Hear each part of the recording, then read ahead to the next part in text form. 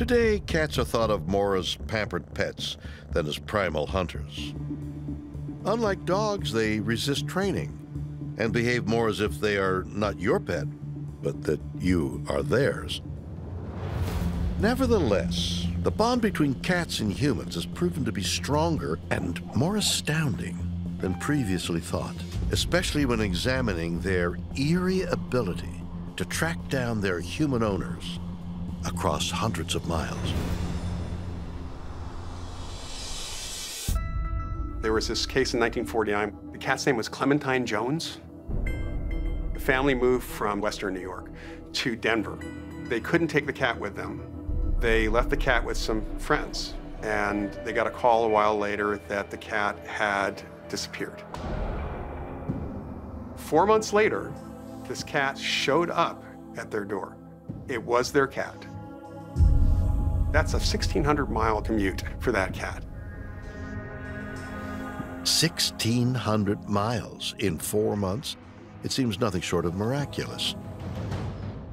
And yet, there have long been stories of cats traversing vast distances, and we don't know how they do it.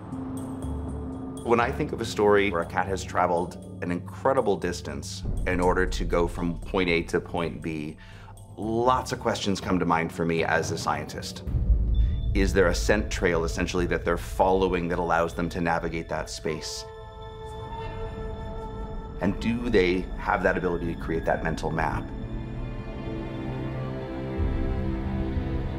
We know cats potentially have other types of navigational capacities too that we don't even know about that sort of harken back to their ancient ancestors who maybe need to roam great distances in order to hunt, for example, and home their way back to their den.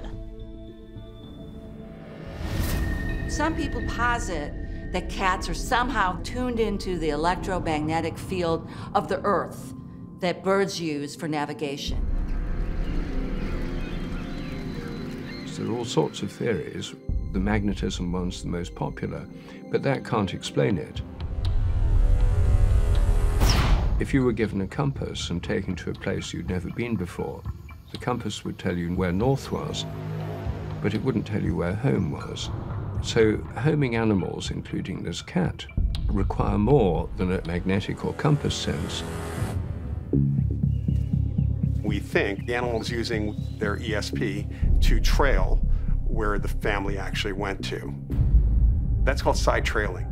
Psi is the catch-all term we use for any psychic experience. Psi trailing typically happens where there's an animal that has a real close connection with the family. And it's possible that the animal saw the path in front of her and followed that path. There's a lot of unknowns around cats. Is there a psychic connection that exists between cats and their owners, and there's a, a magnetism that's there that's drawing that cat in? It's entirely possible.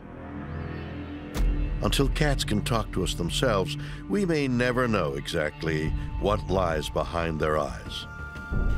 Perhaps it's time to rethink our place in the natural order of things.